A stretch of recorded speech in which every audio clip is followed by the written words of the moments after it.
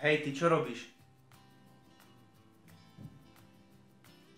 Solím si chleba? Čo je na tom také špatné? Nevieš o tom, že keď budeš soliť, budeš mať vysoký krvný tlak, budeš mať kardiovaskulárne choroby a potom zomrieš? Jaj kamaráde, ty už máš veľmi zastaralé vedomosti. Nič sa neboj, v tomto videu ti ukážem presne, že prečo sa nemusíš báť soliť, prečo môžeš soliť a prečo je sol dobrá pre teba. A takisto to ukážem aj vám. No to som zvedavý. Ak mi to dobre vysvetlíš, tak ti dám určite like a prihlasím sa na odber.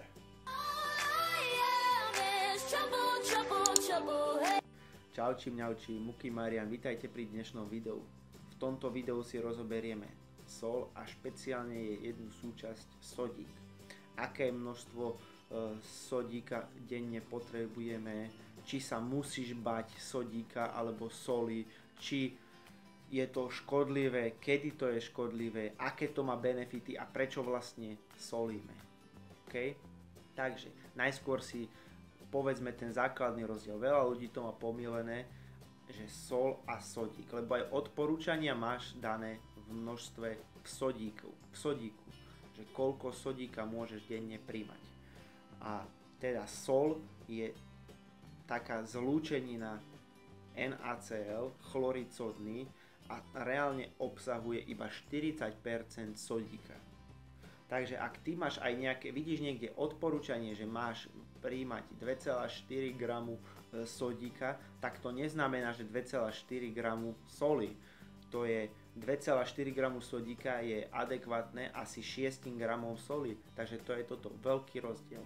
Ďalšia vec je taká, že niektoré soli obsahujú menej sodíka, sa hovorí alebo si tak myslíš, že himalajská sol alebo morská sol, tie veľké kryštalické soli, že obsahujú menej sodíka ako normálna, normálna kuchynská sol, tá drobná. Ale keď si dáš jednu lyžičku, malú čajovú lyžičku normálnej soli a malú čajovú lyžičku tej himalajskej soli a položíš ich na váhu, tak zbadáš, že váha tej normálnej soli je o čosi väčšia, lebo do tej lyžičky, keďže sú maličké zrniečka, sa zmečí, zmestí o niečo viacej soli. A vôbec to nie je pravda, že táto himalajská sol obsahuje menej sodíka. Presne obsahuje tiež 40% ako normálna kuchynská sol, len do tej lyžičky, keď si naberieš, si naberieš menšiu hmotnosť a tým pádom, keď to vypočítaš, tak áno, na ten objem tam bude menej sodíka, lebo tam je v tej lyžičke menej. Dobre, toto aby sme vyriešili. Teraz si povedzme, prečo je sodík taký veľmi dôležitý pre nás. Sodík je minerál a elektrolit, ktorý e, zabezpečuje správnu distribúciu vody v tele, e, zabezpečuje správny krvný tlak, správnu funkciu srdca, taktiež je súčasťou s draslíkom, o draslíku a soli povieme o chvíľočku neskôr, je súčasťou každej bunky a skutočne táto rovnováha medzi draslíkom a sodíkom je to najdôležitejšie, to na čom záleží. A nezáleží tak na množstve soli, ktoré príjmeš alebo sodíka, ale na, správ, na tejto správnej rovnováhe. Taktiež je sodík e, zodpovedný za to, aby sa dostávali e, tie informácie do bunky. Napríklad, keď cvičíš a e, vypáliš glykogén vo svaloch, tak je potrebný sodík na to, aby sa ti tam znova ten glykogén dostal do svalu. Takže aj z tohto ty môžeš príjmať sacharidy, ale keď nemáš dostatok sodíka, tak tento proces je oveľa menej efektívny. A taktiež sodík je veľmi dôležitý aj e, ako súčasť tráviacej šťavy v našom žalúdku. Takže sodík má veľmi veľa benefitov. Áno, je to pravda, keď zješ ako so všetkým dobrým, so všetkým zdravým, keď ho zješ extrémne veľa, tak môžeš z neho zomrieť. Keď, ale keď ho zješ málo, taktiež môžeš z neho zomrieť asi 95% populácie je zdravá, má zdravé obličky a nemá problém so solou. Náš organizmus, špeciálne obličky, dokážu regulovať množstvo sodíka v našom tele. Keď príjmame nadmerné množstvo sodíka, ako by sme mali, tak obličky to jednoducho dostanú z tela von. Keď príjmame oveľa menej sodíka, ako by sme mali, tak naše telo sa snaží ho čím najviac zadržať. Samozrejme, že naše telo pri potení ho dostáva z tela, tak či tak. Ale obličky to snažia regulovať, aby čím najmenej. Ale nás skôr zaujíma tá súčasť, že keď máš príliš veľa sodíka, že obličky sa dokážu s tým jednoducho vysporiadať. A keď naopak zasa bolo 95% a asi 5% ľudí, 5% populácie je citlivý na sodík a áno, táto skupina ľudí musí e, pevne si strážiť objem sodíka, ktorý príjme v strave a musí dodržiavať tie, tie stanovené e, množstva, ktoré môže počas dňa príjmať. Aké je také odporúčané množstvo sodíka denne? Podľa americkej zdravotnej organizácie, pravdepodobne bude to aj na Slovensku také isté, lebo my sa opičíme po druhých, je to asi 2,4 gramu soli. Sodíka, pardon. 2,4 gramu sodíka, čo je asi jedna čajová lyžička, pozri sa. Toľko to. Jedna čajová lyžička, čo je asi 6 gramov soli. 6 gramov soli je 2,4 2,4 gramu sodíka. Poďme si teda povedať, kde sol získala takéto strašne zlé meno, že prečo je sol tak strašne demonizovaná a všade ti hovoria zníž obsah soli, zníž obsah soli. Bola to štúdia alebo uh, analýza, ktorú robili v asi v 40 rokoch uh, e, 20. storočia a výskumom tejto analýzy bolo u pacientov, ktorí mali vysoký krvný tlak, že znížili príjem sodíka denne a ich krvný tlak sa znížil. Tým pádom bolo stanovené a odtedy sa tak berie, že keď chceš mať nižší krvný tlak, tak zníži množstvo sodíka. Alebo že e, príliš veľké množstvo alebo väčšie množstvo sodíka ti zvyšuje krvný tlak a, a je to problematické. Avšak oni v tejto analýze, alebo ak si to čítal, ak si už o tom počul, tak možno, že nevieš, že oni taktiež znížili množstvo cukru, ktoré pacienti príjmali. A tento fakt sám o sebe mal väčší vplyv na zníženie krvného tlaku ako to zníženie množstva sodíka v krvi. Avšak našťastie veda ide dopredu a máme tu stále ľudí, ktorí robia nové a nové výskumy a bola robená metaanalýza. Čo je to metaanalýza? Metaanalýza je súbor štúdí, kde sa pozrú, lebo na každý predmet nájdeš štúdie, ktoré ti povedia, je to dobré a taktiež štúdie, ktoré ti povedia, je to zlé. Avšak metaanalýza zoberie takýchto štúdí brutálne veľa dokopy a pozera sa, prečo napríklad táto jedna sa odlišuje od týchto ostatných. Takže toto je o mnoho, o mnoho relevantnejšie ako nejaká jednotlivá štúdia a týmto údajom sa už dá aj veriť. A táto štúdia skúmala množstvo sodíka a jeho vplyv na celkovú úmrtnosť a na kardiovaskulárne choroby. A bolo to rozdelené do troch skupín. Bol to nízky príjem sodíka, čo bolo menej ako 2,6 g soli denne. Potom bola to skupina s normálnym príjmom soli, ktorá bola od 2,6 g do 5 g. Táto skupina normálna bola ešte rozdelená v strede od 2,6 po 3,8 bola e, tá, tá nižšia normálna skupina a od 3,8 do 5 gramov bola vyššia normálna skupina a potom bola viac ako 5 gramov uh, soli denne, sodíka denne, to bola ako skupina s vysokým príjmom sodíka. A čo táto metaanalýza dokázala? Dokázala, že riziko kardiovaskulárnych chorôb a celkovej úmrtnosti je nižšie u skupiny s normálnym príjmom soli od 2,6 do 5 gramov ako u skupiny s nízkym príjmom soli. Menej ako 2,6 gramu sodíka denne. Taktiež dokázala, že riziko úmrtnosti a kardiovaskulárnych chorôb je vyššie u skupiny s vysokým príjmom sodíka nad 5 gramov sodíka denne ako u skupiny s normálnym príjmom soli. Taktiež dokázala, že rozdiel v, tej, v tom normálnom príjme, kde bola tá skupina s nižším príjmom od 2,6 do 3,8 a skupina s tým vyšším príjmom v normálno, normálnej skupine od 3,8 do 5, tam nebol žiaden merateľný rozdiel. A čo toto všetko znamená? že je lepšie konzumovať alebo riziko kardiovaskulárnych chorôb a úmrtnosti je nižšie, keď konzumuješ správne množstvo soli, to bolo od tých 2,6 g do 5 g soli a bolo vyššie u tej skupiny, ktorá konzumovala menej a ktorá konzumovala taktiež viac ako tých 5 g soli.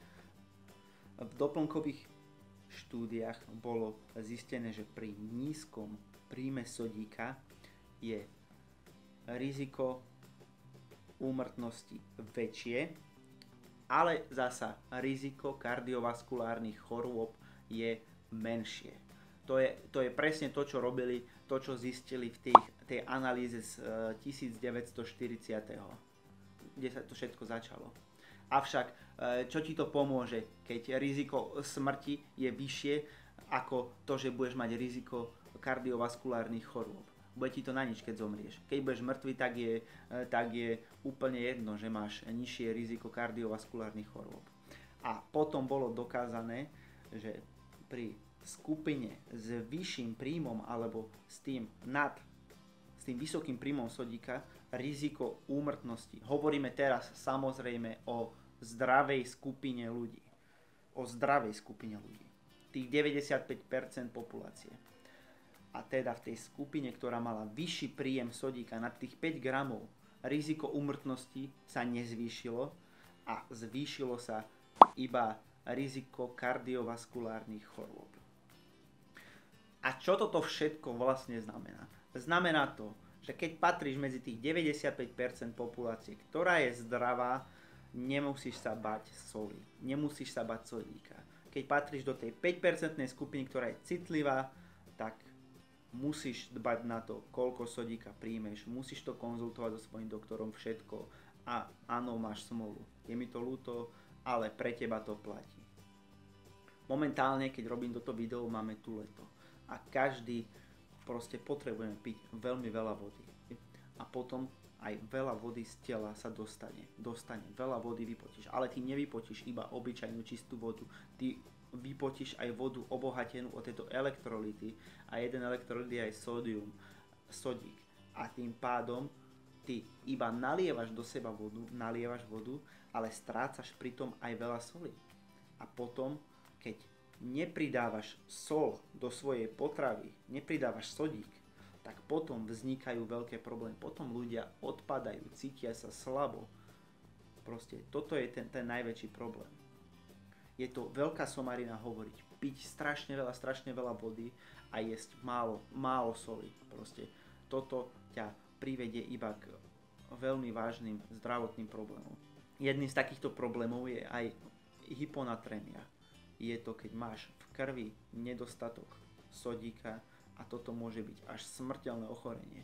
Proste tvoje srdce taktiež nebude, nebude pracovať správne, keď nebude mať dostatok soli. Takže sol. Ďalším takýmto uh, problémom, faktorom, ktorý, uh, ktorý odrádza ľudí od uh, konzumácie väčšieho, väčšieho množstva, primeraného, primeraného množstva sodíka je, že napríklad máš opuchnuté nohy, opuchnutý si celý z toho. Áno, vtedy máš v tele viacej sodíka. Avšak je najväčšia chyba, ktorú môžeš spraviť v tom momente, že znížiš množstvo sodíka, Kdežto, čo by si mal spraviť, je, že navýšiš množstvo draslíka. Ako sme na začiatku hovorili, tak sodík a draslík je to ako pad a mat. Je to nerozlučná dvojica a jediné, čo skutočne hrá úlohu, je táto rovnováha sodíka a draslíka. Keď si zdravý a konzumuješ aj veľmi veľa soli, ale konzumuješ k tomu adekvátne správny pomer veľmi veľa draslíka, tak absolútne žiaden problém nebudeš mať. Avšak my v tejto dnešnej dobe e, bežný človek by mal skonzumovať okolo 4,7 gramu e, draslíka denne a konzumujeme okolo 3 gramov. Takže zober si to, že konzumujeme o 1,7 gramu draslíka menej a predstav si, že sa väčšina ľudí konzumuje viacej soli, ako by asi mali a konzumuje menej draslíka, ako by mali a tu začína skutočný problém. Aj tu začína ten problém zadržiavania vody. Preto máš opuchnuté nohy, preto si celý opuchnutý. Jedz viacej draslíka a tento problém sa vyrieši.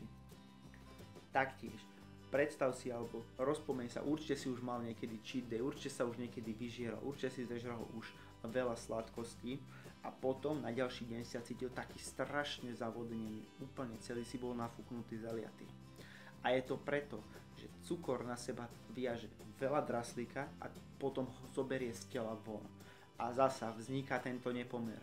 Veľa sodíka, málo draslíka, bum, telo zadržiava viacej vody. Preto konzumuj potraviny bohaté na draslík. A aké sú potraviny bohaté na draslík?